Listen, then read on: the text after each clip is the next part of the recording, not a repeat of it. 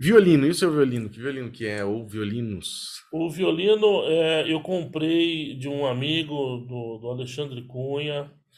É, na realidade, eu comprei da, da o Alexandre Cunha vendeu para a professora é, Eliane Tokesh É. e eu comprei dela já tem algum tempo. É um violino Giuseppe Grossi de 1804, né? Que é italiano? É um italiano, é, de 1804 e, e assim é um instrumento que eu estou muito feliz porque é, ele tem uma sonoridade muito potente, tem um som agradável, tem um timbre maravilhoso. Eu estou apaixonado, né? E é, eu já falei para minha esposa que eu estou precisando comprar um outro instrumento. Né? Eu, eu, eu gosto de, de, de estudar na Sala São Paulo e eu deixo meus instrumentos lá na Sala São Paulo, né?